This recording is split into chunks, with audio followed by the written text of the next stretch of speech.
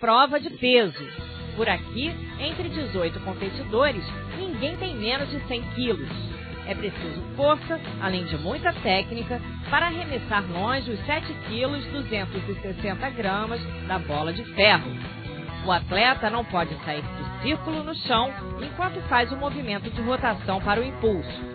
E depois do arremesso, tem que sair por trás, nunca pela grama na parte da frente.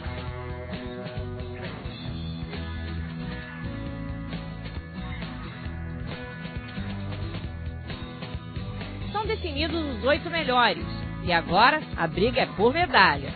Vamos ver quem chega mais perto do recorde mundial militar de 20 metros e 39 centímetros. O atleta alemão fica com a prata e a vitória é do soldado ucraniano Andriy Semenov, com a marca de 20 metros e 2 centímetros. Ele diz que está em boa forma com seus 120 quilos e 2 metros e 4 de altura e que treinou muito para chegar até aqui.